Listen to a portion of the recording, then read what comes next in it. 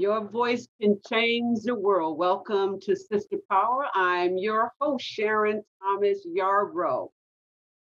And my first guest is Angela Angel Sessions. And she's definitely an angel. She sings like an angel. For Best Female Vocalist, R&B Song of the Year, number one chart-topping artist, songwriter of the year, top trending artist, and Adult Contemporary Song of the Year, Angel Sessions' new single, You Will Always Be My Baby, is now released with over 1 million streams on SoundCloud, is nominated for six awards at the Star Soul Fame Awards 2021. And my next guest, the talented Jacalyn Evone has been creative all her life, beginning with drawing and painting throughout her grade school years. However, it wasn't until she picked up a camera in her early 20s that she found that what would eventually become her creative niche and tool a visual artist emphasizing storytelling, issues impacting both youth and adults. She incorporates both film and photography. More than three, she has been producing more than 300 projects over the past few years. Angel and Jacalyn, welcome to Sister Power. Thank you so much for having us today. Thank you. Yeah, the pleasure is wonderful. This has been taking the time, but before we start, we want to give a shout out and thank our friend uh, Luetta Hill Dudley. She made this possible for us to come together. Yes, she did. Thank you. Yeah. Yeah, thank you, Laurel. Love you. Oh, Luell, thank you. So I want to start with you, Angel. I tell you, this list for you ladies goes on and on. It's so impressive. Um, you've worked and recorded with Lenny Williams, Freda Payne, the Delfonics, Brenda Holloway, the Dramatics, the late Ollie Woodson. Love Ollie Woodson. We used to go see him at Marla Gibbs Memory Lane. So he was one of the best song uh, artists. Mary Wilson of the Supremes, Maurice White, lead singer of Earth, Wind, and Fire, the Dells, and the Stylistics. What was that experience? Talk to us about working with those giants.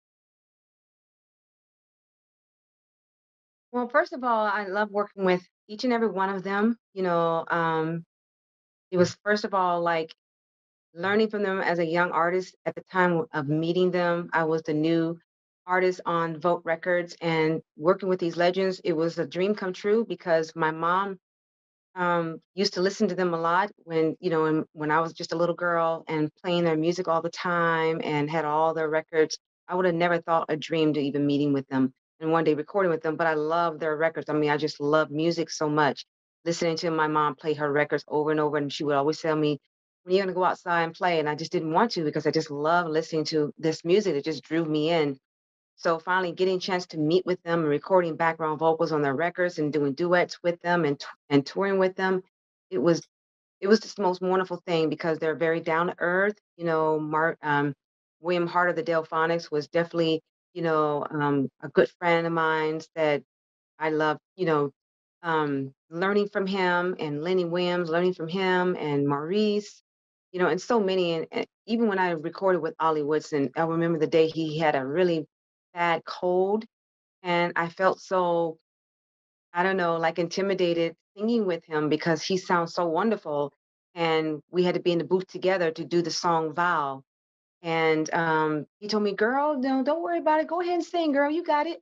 And um, so I did. And the song turned out beautiful. And it's just refreshing, you know, and just being with them is just a wonderful, humble experience.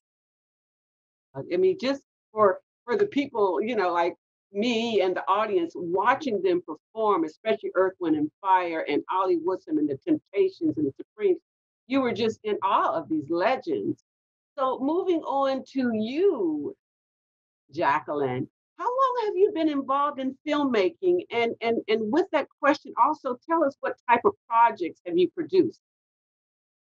Well, I've the indie filmmaking about 15 years, uh, maybe a bit over 15 years, but I've actually been in production, uh, film, uh, cable access production for probably um, 25 years. So, but in, in terms of focusing on the indie films, um, I work primarily with short films. Um, and I recall my very first uh, short film was Who Let the Dogs In? And it was with my dogs, and it starred gentleman, uh, Paul Williams, who played the neglected husband. So the dog's receiving more attention than uh, he did. And then the second short film, and uh, Angel, you will know uh, Pauletta Hickerson, she was the actress that starred in my short film called Peephole, which was a thriller. And uh, Paulette is better known as Percy May today. She is a comedian, uh, best known for her um, her um, clean comedy. And so those were the, the first two films. So primarily short films. However, I have done uh, two uh, feature length documentaries. Uh, one was called the um, Out of the Darkness, which focused on suicide, um, loss, and suicide survivors. And that was a really powerful documentary because it really um, talked about um, uh, the suicide among Blacks. And also, it uh, highlighted the 1,200 people at that time that had jumped from the Golden Gate Bridge. So it, it was really a very powerful piece. The second documentary, feature length documentary, was one called um, Archangel. And it um, basically was um, based upon a behavioral, an adult behavioral day program for adults that had um, a mental challenge. Very powerful um, documentary. And I loved working on that. I really felt that I walked away with 30 new friends and just so much about this beautiful, compassionate, caring, very open, and want to be just like everybody else group of people. And so that was a really uh, wonderful opportunity for me as well.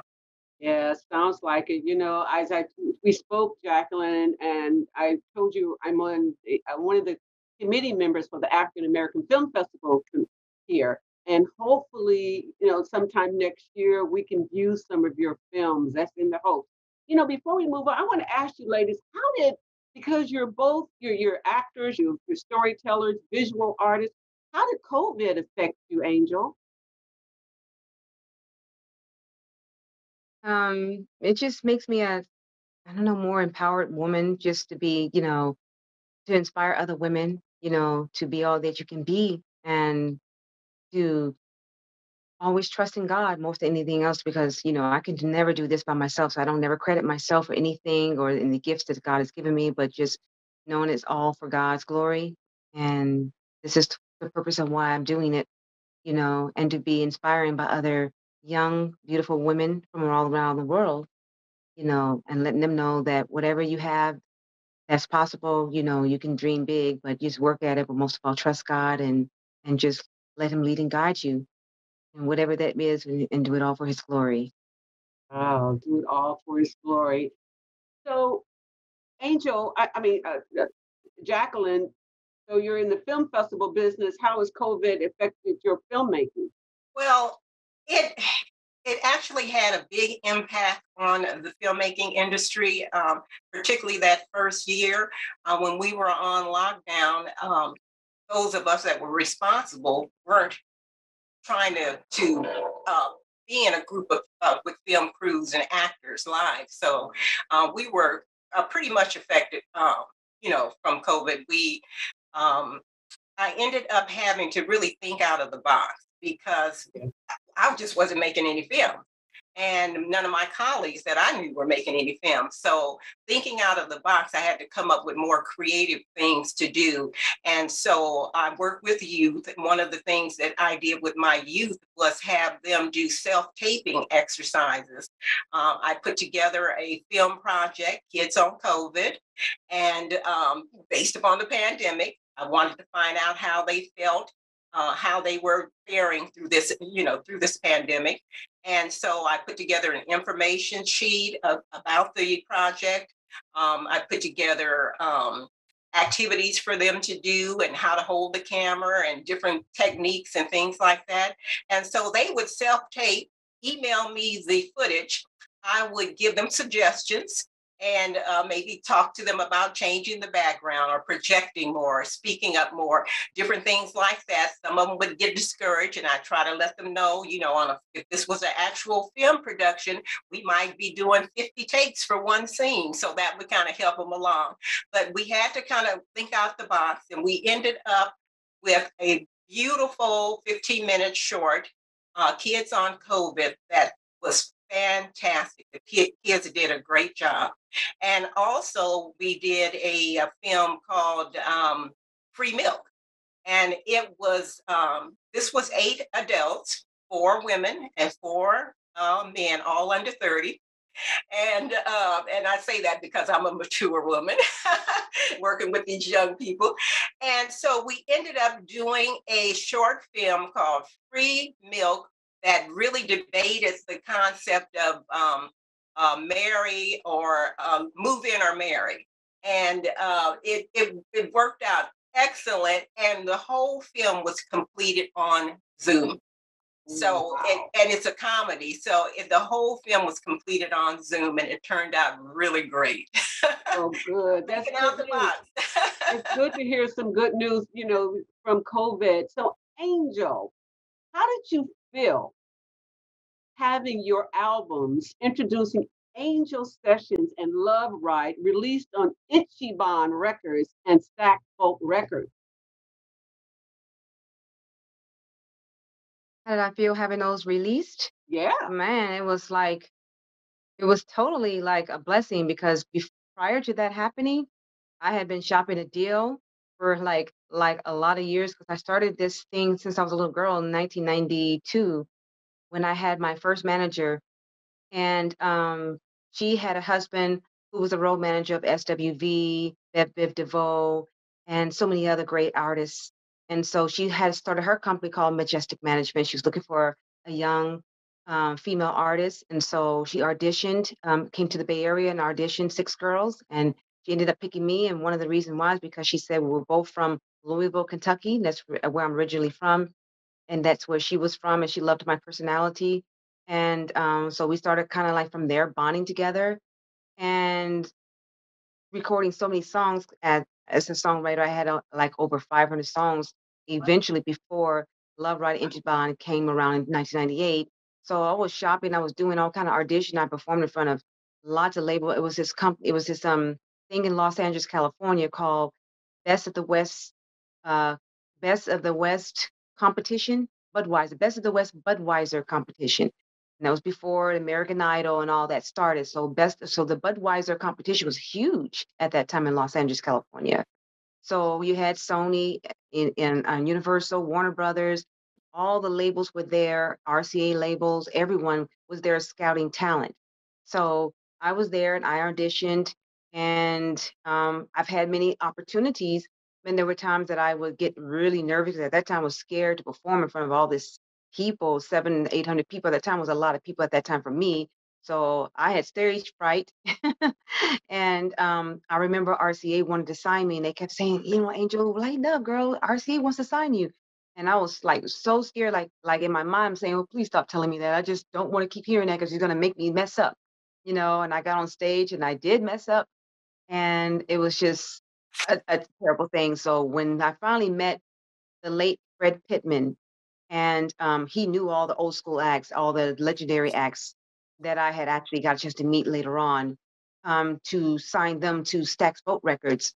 He was looking for an artist that he wanted to sing his song called She Was Never Her that he had written and in hopes that if that single does well, we'll do an album. But Ichiban said, no, we want an album on Angel. So we went into my catalogs and all the songs I had. I placed these seven songs of mine on that album. And then the rest um, of the songs were placed by Preston Glass, who wrote for so many great, you know, artists, you know, Mariah Carey, Whitney Houston. He worked with Narada, Michael Walden, And so he um, produced on my album, my first album and, and my second album, and many other great producers. And so that album came out introducing Angel. And so of course I was ecstatic because I didn't you gotta understand being a young artist wanting so bad to have a record deal and so many, you know, today it seems it's not easy today, but it's a little easier to, to do it yourself because you have social media. But back then you had to package it up and go to the post office and mail it off and have meetings. It was a lot of grinding. I had a lot of grinding to do. So when I finally was able to do that, it was totally a wonderful thing, even though it didn't do what I wanted because they eventually folded in 1999, which is what led me to Boat Records um, because Ichiban label folded in 1999. And so when I went with them, I was able to work with these other great artists that also were, that was the deal. Hey, Fred, if you can get these artists, we'll sign Angel. But you got to get all these great artists and we'll do a deal with Angel. And that's what he did. And that's how Love Ride became. Ah, congratulations. Congratulations. It takes a village. So, Jacalyn, what inspired you to get involved in photography? I started, um, uh, I actually got involved many years ago. I won't say how many years ago, but um, I, I found a Nikon uh, 35 millimeter film camera at a thrift store. And so I just uh, fell in love with that camera and took off running. And so I was just taking pictures everywhere. And I had this opportunity, two opportunities that uh, came to me very, very early on.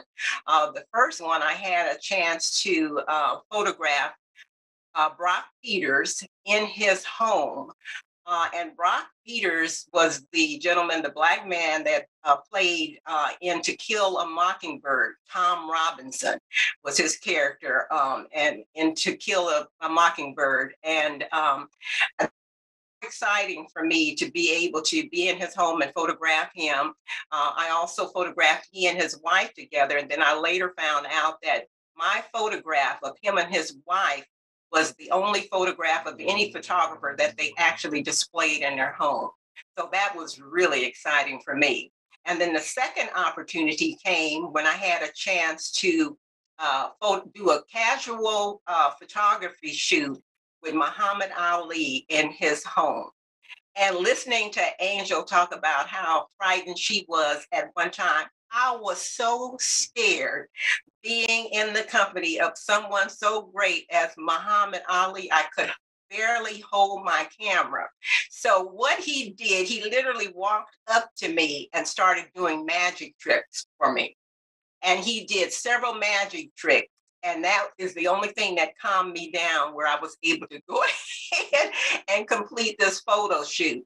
A lot of people don't realize that he he was a magician as well. He was also an artist. So those two uh, opportunities really inspired my photography, and I'm I'm still a photographer. I've been doing photography for many, many, many years, and so that's how I got started. Wow, that's that's the story. You know, the late the late great Muhammad Ali and and Brock Peters. Brock Peters too. That's true yeah. Hollywood. That's Hollywood all the way. So Angel, what did it feel like being a Supreme with Mary Wilson, the late great Mary Mary Wilson? Wow, now I'm glad you asked that question because that was totally a great experience. I've been knowing my friend Karen Newman she had been touring with Mary Wilson at that time, was around seven years prior to me meeting Mary. And I'll go back to the story of 1999. Mary Wilson was auditioning for the new uh, Supremes. So I auditioned to be a part of that. But at that time, there was going to be, if you guys remember, the Supreme reunion with Diana Ross, Mary Wilson, and um, I forget the other Supreme name. And that situation was kind of a a lot going on in the media at the time when it just wasn't working out. Mary was not ups- happy about it. She was a little upset because the finance wasn't what she asked for. So when she tried to put this Supreme together, it didn't work out. So I didn't hear back from her until 2004 when they were actually looking for another Supremes because they had a young lady and then they had to they let her go. And so Karen said, "Hey, hey, Angel girl, I've been telling Mary Wilson's manager all about you. You know, I know you can do it, girl." I'm like, "Really? You think that they'll have me tour with her?" She said, "Yeah, girl, I'm I'm trying to work it out." She said, "But I'm, the manager's going to call you, so be expecting your call, and they're going to put you on the plane. You're going to be here really fast." She said, "Just wait for the call." So I'm like, "Okay." You know, so she set it up. The manager called me and he heard my Love Ride album and he said, I love your voice. You're you're you're you're perfect for this. We're looking for a soprano. And um, we want to fly you in to Mary Wilson's house. She lived in Vegas at that time. We're gonna fly you in. We're gonna have you to meet Mary, spend some time with her, let her talk to you, let her get to know you, and then go from there. And I said, Great. And so she flew me in, went to her house, had dinner with her. She talked to me all about the Supremes, all about her background, where she started, how she was the one who started the Supremes. She told me a lot of great stories. And then she told me about their shows and what to learn here. She showed me all these beautiful gowns and dresses we're going to be wearing. And then I had to sign an, an disclosure contract agreement saying that, of course, that I would, you know, not be a Supremes as far as doing my own thing, which I wasn't going to do that, you know, but it was just a contract I had to agree to sign to. I was just happy to do so and um, start touring with her, you know, as a Supremes and um, in the show with Donna, Donna Summer song, Last Dance. So it was just a wonderful experience. And at that time, I was like, you know, when you're in the water swimming, you're not thinking about all this, wow, mm. like a big fan. You're just thinking, this is work. I got to do what I got to do, and I'm going to be the best I can be because I ain't trying to let Mary down, you know. And that's all. I was just focused more on just, I got to get these songs, I got to get these steps. Okay, does the dress fit right? Okay, okay, I want to make sure, you know, that I want to look the part, you know. My focus was so on just making sure I did what I'm supposed to do to make Mary proud. It's all about sisterhood, lifting each other up. I love that story. I'm loving these stories, ladies. So, Jacalyn, what are you working on today?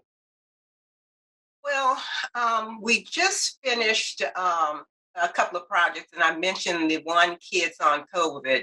Um, and we, the, uh, the, students also just completed a project uh, called Positively You, the beauty of our diversity. And uh, that one really focused on uh, the cultural differences in our community and um, the, the youth had an opportunity to share their um, opinions on um, um, uh, racism and and you know the differences and and what they enjoyed about our differences and how they you know objected to people um, complaining about our differences and so that turned out really uh, well that was a, a, great project and um, we are looking to, um, we're just in the very, very early uh, development stages of a project that we will be uh, doing in spring. So we're just in the early stages of that. I'm working uh, with the youth on that one. So um, that's it for right now. Well, that's it sounds like your plate is full to me. My goodness. Angel, Angel, what is your plan for 2022? Yes. Well, I have a company called Atlas Elite Entertainment, and we started that in 2017. So for 2022, I'm going to be really focused on my two artists that I have, which is Chardell Sessions, that's my daughter, and she's an R&B recording artist, and my other hip hop recording artist, Way, and they got new projects coming out. Uh, my daughter has an album coming out, and Way has an EP coming out. And I also have and two albums coming out. I have an, an R&B album coming out called Angel Sessions Best of R&B and an EP coming out which is going to be my urban gospel. I don't have a name for it yet and this Saturday I'm going to the studio to record um, my new gospel song for that. So I'm going to be focused on that. I got a show coming up. I think it's going to be for the, the the Black Expo. I think it's coming up in February, so I'm going to be performing in that one. Um, so I'm just going to be focused on a lot of great things happening Oh, for um, that and, and whatever God has in store. God is good all the time. It's all going to work. Jacalyn, do you have any advice for young people who either want to act or want to become filmmakers? And I get uh, students that want to do both, and I get students that don't want to do any of them, uh, any of these activities. They want to be an anthropologist or a, uh, a gymnast or something like that. But um, uh, this what we do with our workshops is great for any of the students. And the, the basically the thing that I would say to them is to um, always follow your dream, never give up, practice, practice, practice. That is so critical. Uh, what we focus on in our workshops are uh, confidence, basically, and self esteem building through on camera activities. So the students not only uh, act and learn uh, critical thinking, uh, uh, memorization when they have to work with the monologues and scripts. They learn behind the scenes, they direct, they learn camera activity, uh, camera operation, uh, audio capture. So they're in front of the camera, they're behind the camera. And um, I, I, recall, I think it was, um, I was looking at something on uh, Facebook the other day, and it said if you uh, fall down seven times, get up eight. And that's what I would say to them. If you fall down, if you stumble, do not give up, do not be discouraged. It's a minor step get right back up and keep going. Practice, practice, practice, and never give up. Ah, love that. Love that. I want to I want to ask you, Angel, the same question in closing. What advice would you give, let's just say special young girls to get into this business of singing and trying to cut records or CDs or what do you call it now? What advice would you give young girls? I definitely would give them to say to them that I really want them to just, most of all, always pray to God. You know, hopefully, you know, if they trust and believe in God, you know, to lead and guide them and, you know, believe in their talent. You know, God gives us talent and praise God for these talents. So we can, you never know, you may touch the heart of somebody. You know, um, like Jacalyn and, her movies and her films could touch the heart of someone when, when they watch her films, what they may learn from it you know and the music the same way you know music is it's a beautiful thing you know and um and so just so long as you do it for for the right reasons you know not doing it to disrespect or degrade anyone but just you know just believe in yourself and you know don't be a procrastinator because some people may say i want to do it and then they procrastinate but you know you got to start somewhere and thank god for social media because now you have social media you can utilize that to you know, get your music out there and get heard a lot faster than back in the day and it was when I was in, you know, in the late 90s trying to do it. It was not easy at all. It's easier now. So utilize that and go for it and don't allow anyone to tell you you can't do it because there's a, a lot of people online that will try to discourage you and say things that will make you feel like, well, then I don't want to do it, you know, but don't listen to the naysayers. Just keep trying, just keep going and begin what you have and give God the glory. So your voice can change the world. Angela Sessions and Jacalyn Evone, thank you for sharing your talents and wisdom. I'm Sharon Thomas Yarbrough. Aloha.